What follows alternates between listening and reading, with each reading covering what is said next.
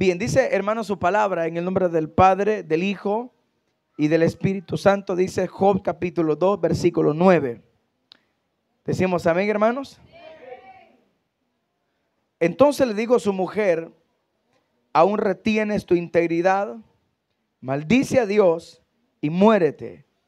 Y él le dijo, como suele hablar cualquiera de las mujeres fatuas, has hablado que recibiremos de Dios el bien y el mal no lo recibiremos.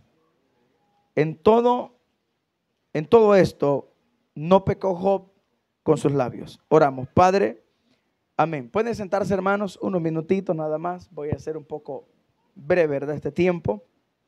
El versículo que nosotros acabamos de leer, por lo menos está posicionado la parte cuando, eh, la segunda parte, mejor dicho, de donde Dios, hermanos, permite que la vida de Job sea probada.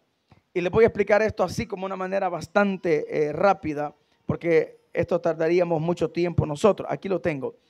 Quiero que vean, hermanos, cómo dice eh, en la nueva traducción viviente, dice así, su esposa le dijo, todavía intentas conservar tu integridad, maldice a Dios y muérete. Sin embargo, Job le contestó, hablas como una mujer necia, aceptaremos solo las cosas buenas que vienen de las manos de Dios y nunca lo malo. A pesar de todo, Job no dijo nada incorrecto. Vea que cambia un poco la versión. Bien, permítame explicarle un poquito esto, hermano. Todos conocen la historia de Job, ¿verdad? Creo que nadie, hermano, de los que está acá, eh, ignora, al menos que nunca haya leído la Biblia, hermanos. Pero aunque nunca la haya leído, ya habrá escuchado más de alguien predicar en este tema.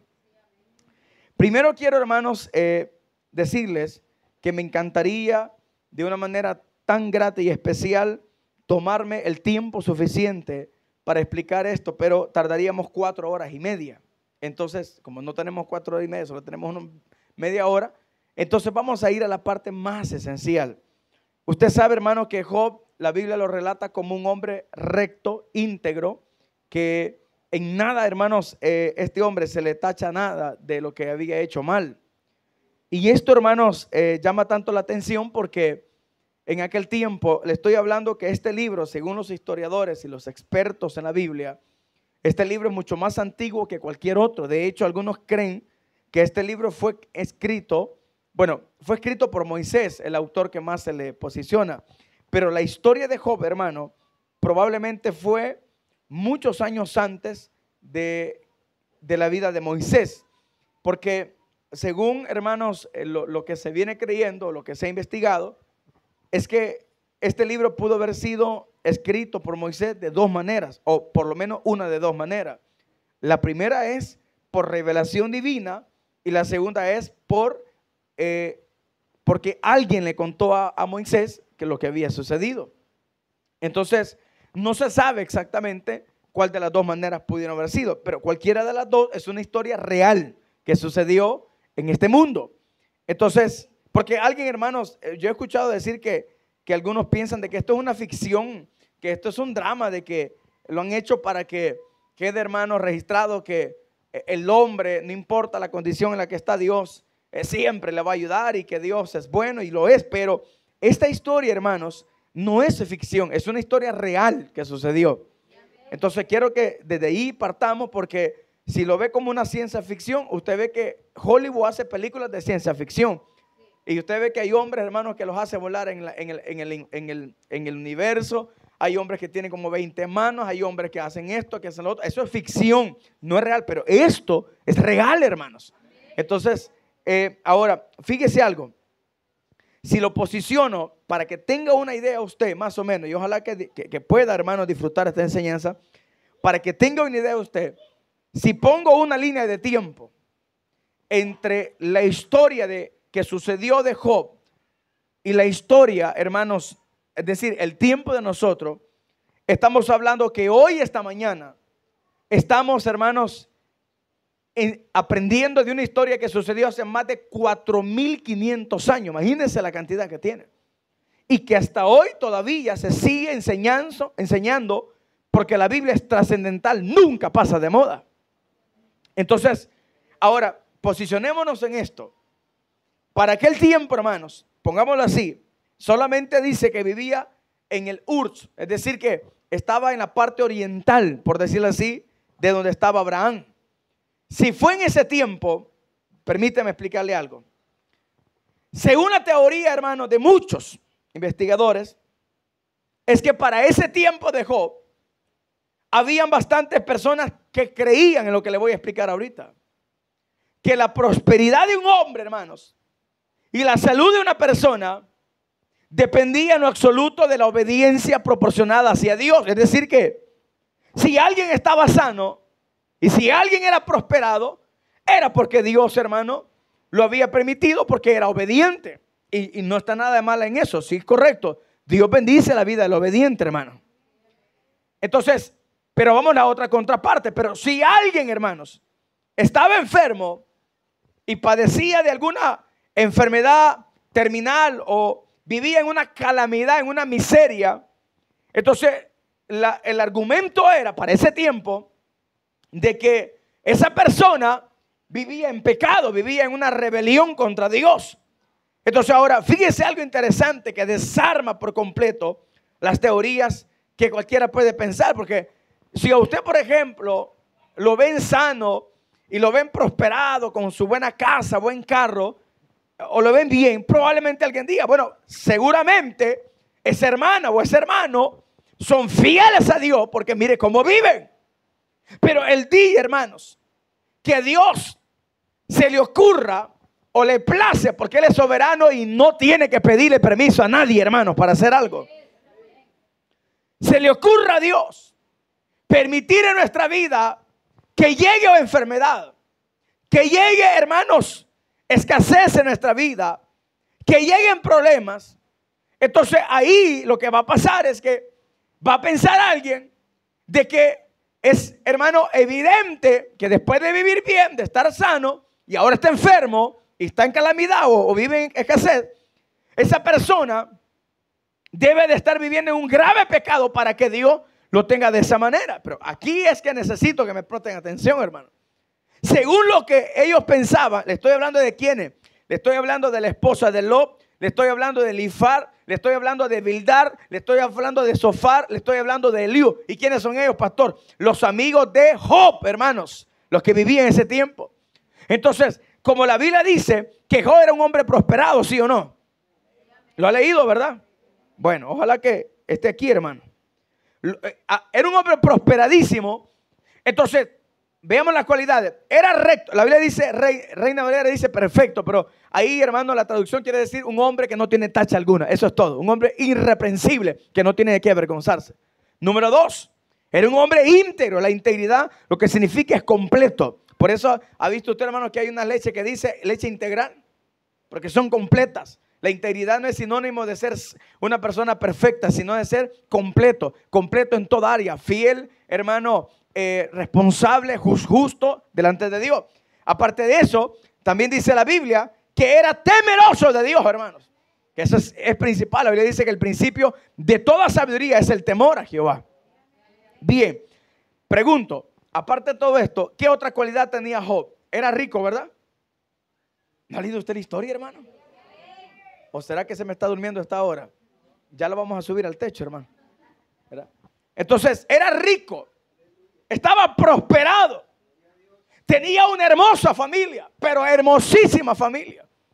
Tanto era la integridad de esta familia que antes que sus hijos se reunieran en la casa de sus hermanos mayores, hermanos, ofrecía sacrificio por si al caso, hermanos, habían de fallar Imagínense, él se anticipaba antes de que lo, lo, cometieran. Es decir, que el hombre era demasiado íntegro, hermano.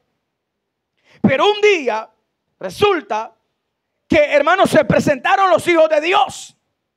Entre los cuales dice literalmente que iba Satanás. Y no me pregunte cómo, pero allí iba, hermano. Y dice que, hermano, Dios le pregunta, ¿de dónde vienes? Y él le dice, bueno, ando, vengo de andar por la tierra, de, rodearla, de, hacer lo que siempre ha sabido hacer. Andar viendo a quién acusa, hermano. Porque eso es lo que hace Satanás. Él, anda metiéndose en las iglesias, hermano, y utiliza los mismos hermanos chambrosos para acusar a otro, hermano. Entonces, y le dice el Señor, no has considerado, otra palabra sería, no has pesado Y oiga bien cómo se refiere Dios, hermano. Ojalá que así nos llame Dios a nosotros, hermano. A mi siervo Job. Fíjese, hermano. ¿Qué significa siervo? La gente piensa que estamos hablando de esos animales que son siervos. No. Cuando habla siervo, la traducción significa esclavo. Esclavo es el que le sirve a un amo y nosotros le servimos a nuestro Dios, hermano. ¿Verdad? Entonces él considera que Job era un siervo porque era íntegro, andaba en los caminos de él. Entonces, pero fíjese, hermano, la manera en la que inicia este diálogo. Hasta hoy, Job no sabe que Dios y el diablo hablaron de él, hermano. Y, no, y usted no le vaya a contar si lo ve más adelante, ¿verdad? ¿Verdad? Porque aquí está escrito. Esto que está aquí es historia para usted, pero cuando sucedió eso, no era historia todavía. Entonces, vea cómo inicia. Viene Satanás y hace lo que siempre le ha gustado hacer, es tentar, es provocar. Ah, le dice, claro, pero ¿cómo no lo vas a tener? ¿Cómo no te va a ser fiel a ti si mira cómo lo tienes prosperado? Y le dice, y aparte de eso que le ha cercado, eso significa hermano, increíblemente que Dios había puesto una protección alrededor de Job, hermano. De su familia, de su casa, de su ganado, de su negocio, de todo, de manera en que nadie podía cruzarla. Por eso dice el Salmo 91, el que habita al abrigo del Altísimo morará bajo la sombra del Omnipotente. Mientras usted está en la sombra de Dios, hermano, del Dios de los cielos, a quien le servimos, aquí pueden venir enfermedades, pueden venir escasez, pueden venir, hermanos, pandemias, puede venir lo que sea, pero mientras esté bajo la sombra del abrigo del Dios Todopoderoso, usted no tiene que preocuparse de nada ni de lo que tiene que pasar, porque está bajo la sombra del omnipotente. Alabado sea Dios, hermanos. Ahora, si se sale de esa sombra por pícaro, por sinvergüenza, por rebelde, por soberbio, se lo va a dar el diablo, hermanos. En cualquier momento, ¿verdad? Ojalá que usted esté bajo la sombra del omnipotente, hermano. Porque si no lo está, va a ser mascada que le va a pegar el diablo, hermano. ¿Verdad? Estamos entendiendo, ¿verdad? Fíjese, hermano, que ya se me acabó el tiempo, hermano. No, no, el problema es para mí, hermano. Bien, pero vamos a hacer rápido esto, hermano. Entonces, o los dejo picados si quieren y seguimos, hermanos, allá en la iglesia. Va. Bien. Entonces, viene el diablo, hermanos, y ahí es donde reta a Dios, pero obviamente Dios ya sabe lo que va a pasar. Por eso, hermano, la gente puede pensar, ¿y por qué Dios permite todo eso? Porque Dios ya sabe el destino final de cada uno. Porque hermano, recuérdese que Él no solamente es todopoderoso, Él es eterno, Él conoce el pasado, el presente y el futuro. O sea, Él sabe cómo vamos a terminar. Vea lo que dice Pablo en Romanos 8, 28 y 29 en adelante. Que a los que antes conoció a estos predestinó, a los que predestinó a estos llamó, y a los que llamó a estos justificó, y a los que justificó a estos, hermano, glorificó. O sea, ya sabe la línea de tiempo de la predestinación. sabiendo Dios quién había de ganar la batalla, entre quién tiene la razón, si el diablo dice, quítale lo que tiene y blasfema contra ti, o Dios le demuestra a Satanás que ni, quitándole todo a Job, Dios, hermano, sabía que Job no le servía por lo que tenía, sino porque lo amaba, hermano. Y aquí va la diferencia. Por eso que hay creyentes que solo viven amando a Dios de la superficialidad que se mira nada más que mientras están prosperados son fieles a Dios, hermano. Que mientras tienen buena casa, buen carro, buen hermano, cuenta bancaria, son fieles a Dios. Pero cuando Dios decide probarlo para quitarle lo que tiene, empiezan a renegar y empiezan, hermanos, a alejarse de Dios. Yo siempre he dicho que servirle a Dios no consta de lo que Dios me puede dar, porque esto no es un favorcito. Te sirvo y me bendices. No, aquí es simplemente una cosa, que si yo amo al Señor, lo voy a amar sobre todas las cosas. Por eso es que Jesús dijo, si alguno viene en pos de mí, nieguese a sí mismo, tome su cruz y sígame. Entonces tiene que venir el momento en que tenemos que ser probados y saber de qué material somos, hermanos. ¿Me está entendiendo, hermanos? Porque hay gente que se, se, goza y se siente optimista cuando anda buenos dólares en la bolsa. Pero cuando no anda nada, esa gente no alaba a Dios en nada, hermano. Usted tiene que alabar a Dios con pollo campero y con frijoles con tortilla, hermanos. Si no lo hace, usted es apariencia nada más. Amén. Entonces, vino el momento. Que ahora viene Dios le dice, ah, entonces lo que, lo que tú me estás diciendo al diablo es que Job me sirve por conveniencia. Sí, por eso, bueno, está bien. Vea lo que le dice. le da luz verde, hermano. Pruébalo. Pero solamente no te metas con su vida. Claro, porque la vida de nosotros está en el Señor, hermano. Ay, el diablo, ni lento ni perezoso, hermano. Baja a, donde está abajo y empieza, hermanos, a masacrarlo. Primero asesina, o sea, extermina todito el ganado que tenía. Job, hermano, no era pobre. Job era millonario, hermano. Usted y yo a puras penas tenemos un chucho todo pulgoso, hermano. Ese hombre tenía ganados, tenía cabras, tenía ovejas, tenía camellos. Ese hombre, hermano, tenía muchas cosas. Ese hombre era millonario. Usted tiene dos gallinas que todas culecas están ya, hermano. Pero, pero, ese hombre era millonario, era ese hombre, tenía todo. Todo eso, hermano, se empezó a ser eh, aniquilado por Satanás. Y ya usted conoce, esa parte la omito porque me voy a tratar mucho, hermano. Que venía un criado y le daba la información, venía otra situación y sobrevía uno y le daba la información y se iba sucesivamente, venía uno y el otro venía y otro venía, hasta que llegó el momento en que sus diez hijos, no le estoy hablando de uno hermano, le estoy hablando de diez hijos, fueron hermanos prácticamente raídos de la, de la tierra, hermano, desaparecido con torbellino, murieron todos sus hijos y joven hermano, prácticamente en el lapso, digámoslo así, no sabemos cuántos días, pero en, en un periodo corto, este hombre había perdido todo lo que amaba, hermano, mayormente a Dios, sus hijos. Bueno, a Dios no lo había perdido, sino que terrenalmente había perdido todo lo que ese hombre amaba. Entonces, aquí aclaro un punto. Dice la Biblia, ahí mismo en los últimos versículos del capítulo 1, que ante todo esto Job no había blasfemado delante de Dios. O sea, el primer rabo lo perdió el diablo. ¿Estamos de acuerdo? Lo perdió. Porque si la intención era que él blasfemara contra Dios, aquí quedó avergonzado Satanás demostrándole a Dios que Job no le servía por lo que tenía y no solamente material. Estamos hablando de sentimientos como padres, hermanos. Se nos enferma un niño y nos morimos nosotros, hermanos. Y se nos muere y nos vamos detrás de ellos también nosotros porque pensamos que la vida se acabó. Pero este hombre perdió 10 hijos, hermano. Usted puede tener cinco y tal vez de los cinco hermanos, los, los cinco son rebeldes, son hermanos eh, tremendos, pero usted jamás como padre o madre, hermano, eh, quisiera que uno de esos muriera. Mejor prefiere tenerlo de guerra ahí, hermano, pero que no se muera. Entonces, pero este hombre no perdió 10 hijos malos, perdió 10 hijos que eran buenos. Los de nosotros son tan tremendos, hermanos. Eh, los de este hombre eran íntegros también, pero, pero vea, vea, el primer round, vamos a ponerlo así, yo lo estoy poniendo así gráficamente, el diablo pierde. Porque ¿cuál fue la intención de Satanás para con respecto a Job? Demostrarle a Dios que Job le amaba por todo lo que Dios le había dado. Pero ahora lo que le está diciendo es, eh, eh, con esta situación, es que el diablo se equivocó, cometió un error. Ahora, pero no termina hasta ahí, hermano. Viene Dios y vuelve otra vez. La Biblia dice que se vuelven a presentar otra vez los hijos de Dios, entre los cuales viene Satanás. Y fíjese lo que va a pasar. Versículo, si quiere váyase al versículo 1, hermano, porque me interesa. Versículo 3. Y Jehová dijo a Satanás, otra vez, ¿no has considerado mi siervo Job que no hay otro como él en la tierra, varón perfecto, recto, temeroso de Dios y apartado del mal, que todavía retiene su integridad, aun cuando tú me incitaste contra él para que le arruinara sin causa? Eh, eh, está bien, deténgase ahí. Hermano, esto sí no me quiero pasar por alto.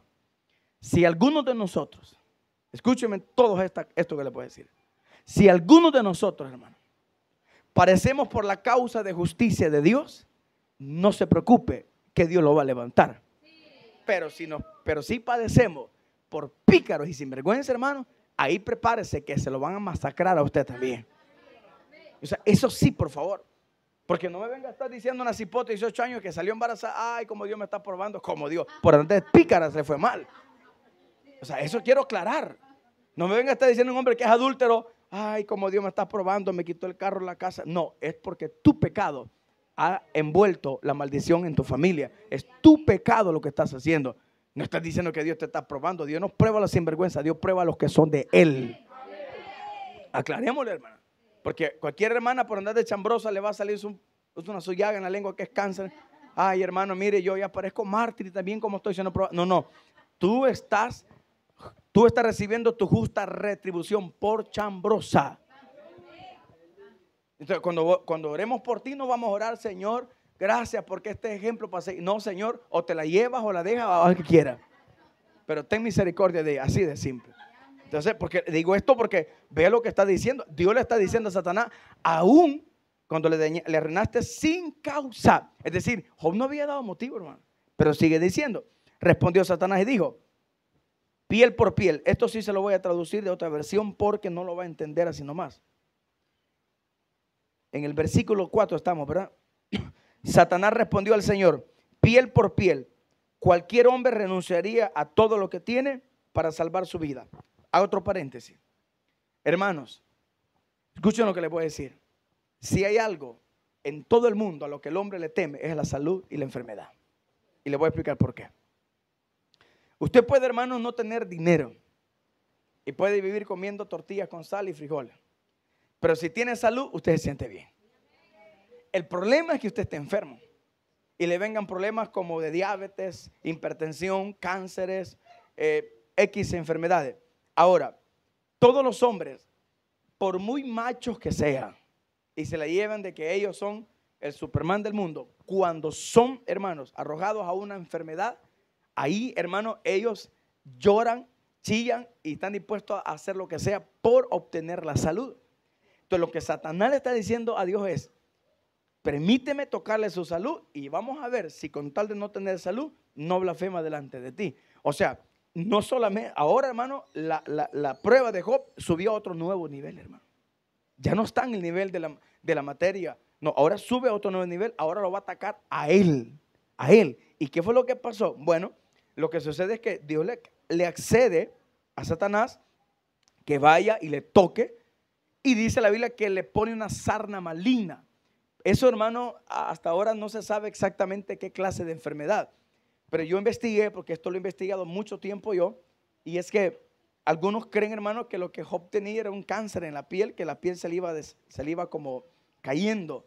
Otros dicen, hermano, que tenía una especie de enfermedad que era como una, eh, eh, eh, es un nombre bien raro, hermanos, elefantitis, algo así, pero que era como que se le empezó como a deformar la piel a él, hasta el rostro, y que él agarraba un pedazo de teja y se tenía que rascar porque no soportaba el ardor, hermanos, eh, el dolor, la comenzón por aquella enfermedad, que como digo, no se sabe exactamente, hay solamente hipótesis. Ahora, fíjese eso, la escena que leímos es esta y, y quiero presentarle un cuadro. La esposa de Job, cuando lo ve primero, ella también como madre sufrió la pérdida de sus hijos, porque eso la gente no lo pone a pensar también. Dos, ella sufrió toda la pérdida de su extenso ganado, de su millonaria, por decirlo así, hermanos, digámoslo, negocio, ¿no? Y ahora está viendo a su esposo con una enfermedad que quizás lo ha deformado por completo. Entonces, al ver esa escena, hermanos, entonces ella automáticamente en show, impactada, dolida, ella se siente, hermano, tan desesperada que no hay otra palabra que decir lo que hemos leído. Y, la, vea cómo le dice, aún le dice, retienes el qué.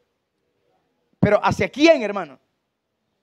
o sea, el, el meollo del asunto es que lo que el diablo quería era grabar la escena en cuando Job empezara a blasfemar el nombre de Dios. ¿Pero por qué? Porque ya lo expliqué, él era íntegro.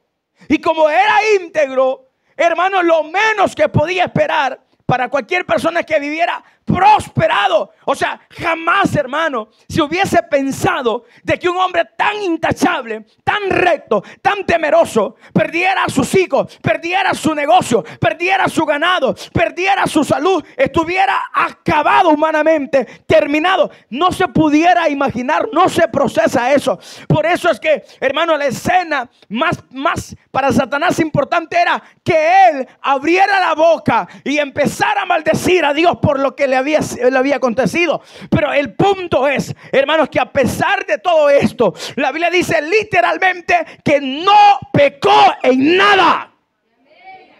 No abrió su boca.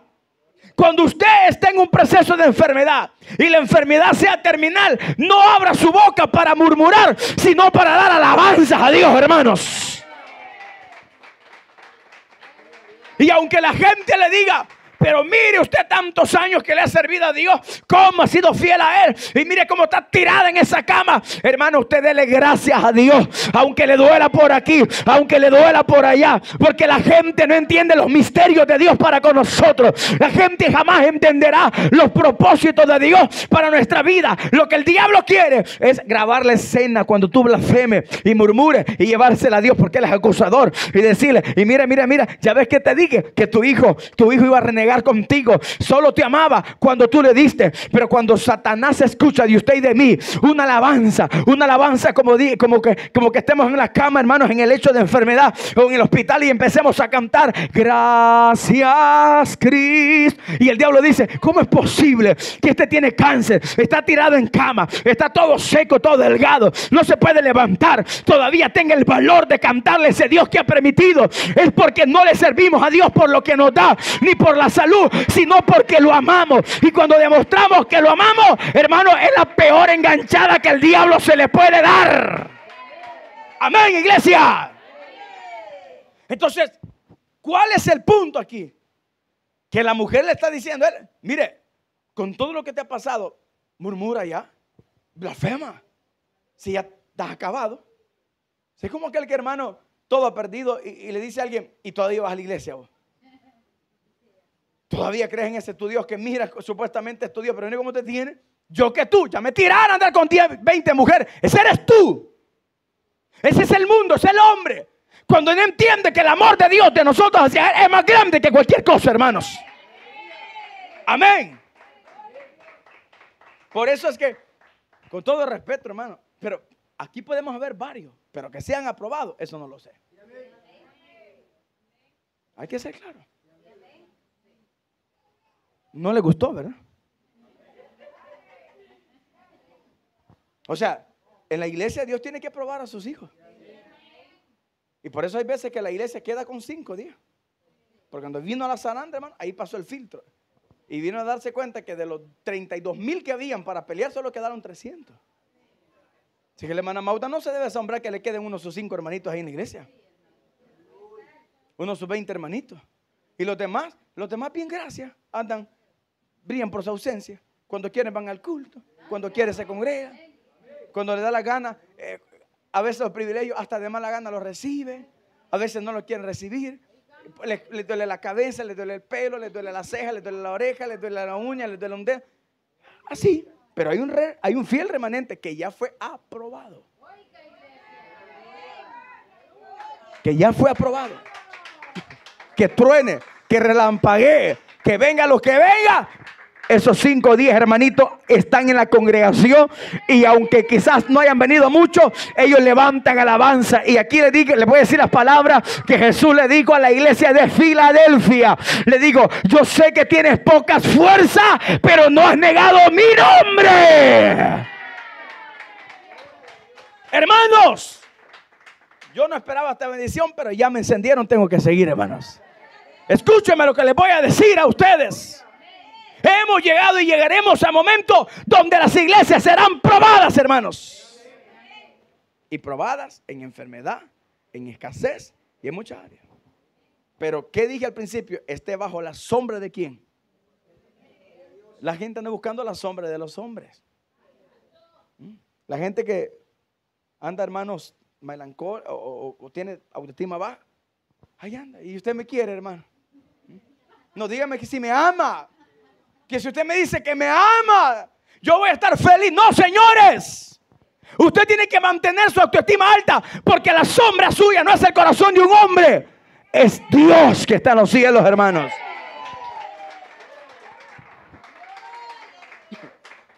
Amén. Para mí, ni deberían darle privilegio a esa gente, hermano, que es como cometas. Que llegan una vez a los 15 días, hermano. Ni deberían darle privilegios, hermano.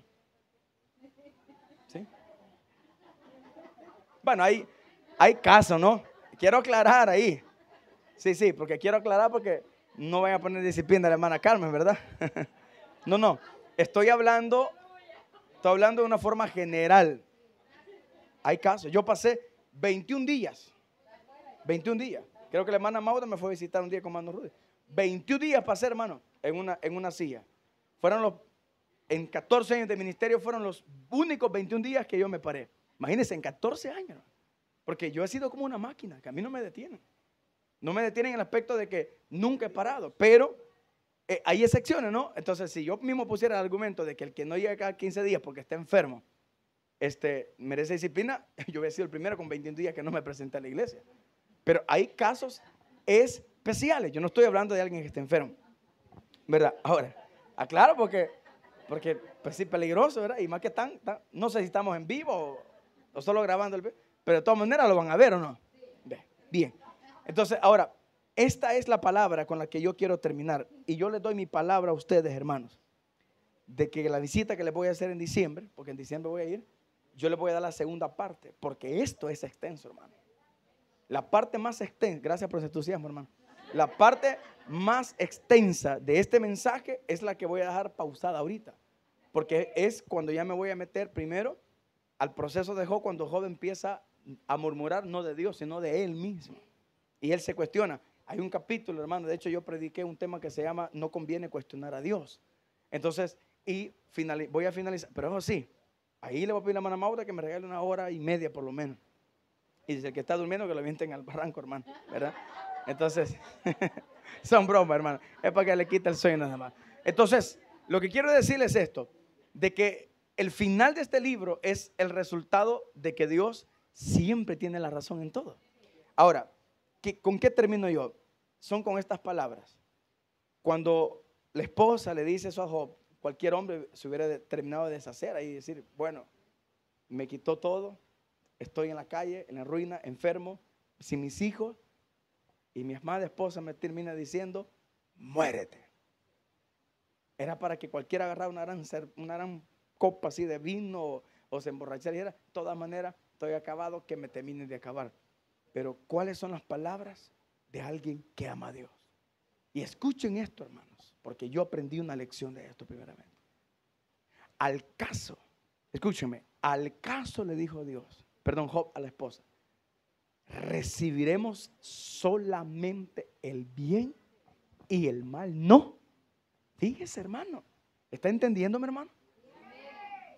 Porque le acaba de decir, como mujer necia has hablado. La palabra necia es alguien, hermanos, que, no, que, es como, sí, pero es una persona que, se impulsa a hablar sin, sin pensar, sin sabiduría, correcto. Entonces, ¿en qué quiero terminar esto? Por eso hago una pausa para seguir la segunda parte y que me recuerden en la segunda parte que les voy a predicar. Esa palabra, al caso recibiremos el bien y el mal no. O sea, hermano, eso es algo profundo. Porque aquí donde se demuestra quién ama a Dios por conveniencia y quién lo ama por amor. Fíjese hermano que con todo respeto me voy a meter en los matrimonios. Hay esposas que están con las esposas por amor a ese pedazo de tierra de herencia que le van a dejar. No porque lo ame, si la mujer no quiere ese viejo panzón, hermano. Ella va vigiando, ella va vigiando la herencia que le va a quedar a ese viejo. ¿Verdad? Entonces, ella, hermano, lo que desearía es que se muriera ese viejo ya. Ella le va vigiando el carro que tiene, hermano. ¿Ah? Ella le va vigiando, hermano, tal vez alguna pensión que le va a quedar. ¿Verdad? Bueno, yo conocí una mujer que por el seguro social no, no se separaba del marido, hermano. ¿Verdad? Entonces, cuando este hombre enferma, o ya está todo desahuciado, acabado, ahí se conoce que la mujer lo que hace es irse. Se va. No, este viejo ni, sirve ya, ni funciona este viejo ya. Entonces, pero ¿quién ama a una persona? No lo ama por lo que tiene, sino por lo que es. Lo mismo es con Dios. De pronto Dios usted le puede regalar una mansión allá en el escalón.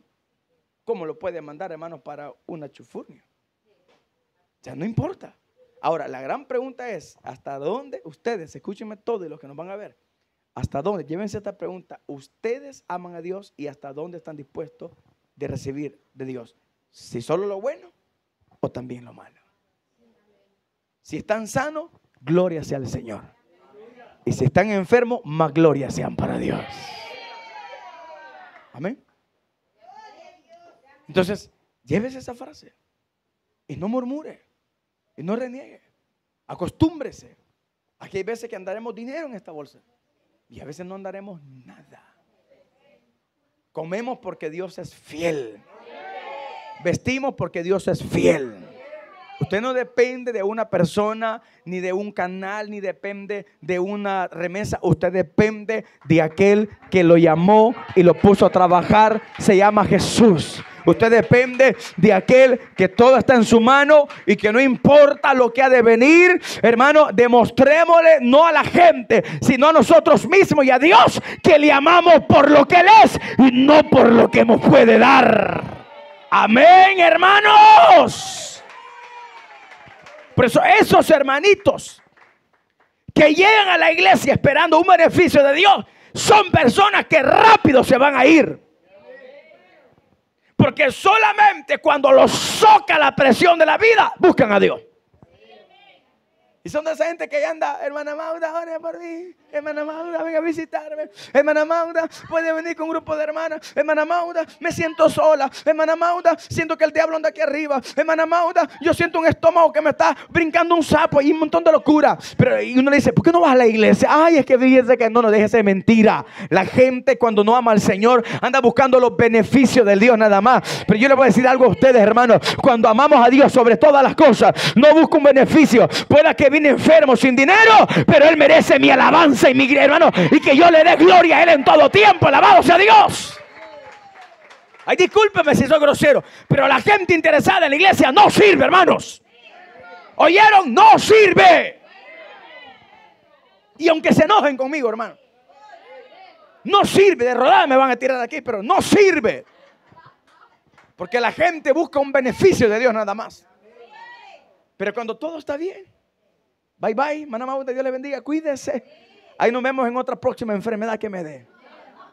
¿Mm? Y ahí anda un hermano ahí detrás de la gente.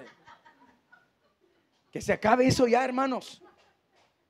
Que se termine eso ya de que, los, pastores o, los líderes son títeres de la gente, hermanos, que busca beneficio. ¿Mm? Yo una vez, hermano, estaba trabajando y sí, lástima que la hermana estaba lejos, no porque le, le hubiera tirado el teléfono a esa mujer, hermano. Me habla porque se quería quitar la vida porque el novio la había dejado como tres días, hermano. Hombre, le dije yo, y por eso me habló usted, hermano. Sí, no, hombre, discúlpeme, pero yo trabajaba en ese tiempo. Entonces, cuando amamos a Dios, hermano, no es por un beneficio. Ah, escúchenme esto.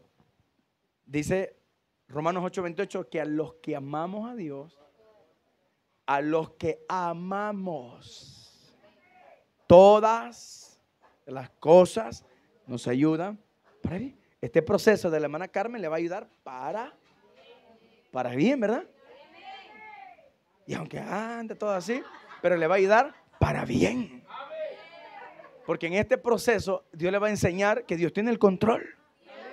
En este proceso Dios le enseña que Él es el médico por excelencia. Y que el que, el que permite la llaga, permite la cura. Que el que permite la entrada, permite la salida. Él es Dios, hermano. Alábalo esta mañana que Él es digno de toda alabanza. Amén. Y no ve, hermanos, la luz del sol amanecer aquí. Esa es una alegría para decir, Señor, gracias por tu misericordia. Pablo tuvo un aguijón toda la vida y usted un dolor de cabeza no lo aguanta, Señor. A veces los aguijones son importantes porque ese aguijón es un freno que te tiene en la iglesia que cuando medio se siente sana ya, ya va buscando la costa del sol, hermano, ya va buscando, ya va buscando la playa, va buscando. Entonces viene, viene Dios para donde va. ¿Mm? Entonces, el tema brevemente es que no solamente recibiremos el bien, también recibiremos el mal. Ahora, Dios nunca obra para mal, sino que obra para bien. Dios le bendiga a todos, hermanos.